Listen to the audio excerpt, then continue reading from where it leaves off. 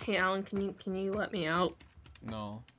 How about you find a way out? I don't have a pickaxe and it's gonna take forever.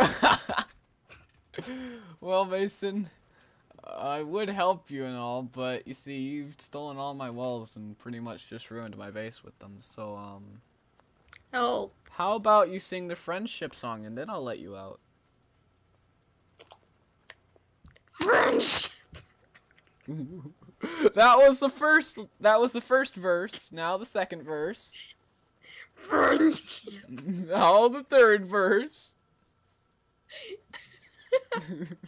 Friendship. Okay, let's just skip ahead. This is gonna take forever. How about the 500th verse? French. Okay, that was a pretty good singing ability. Okay, I'll let you out. Oh.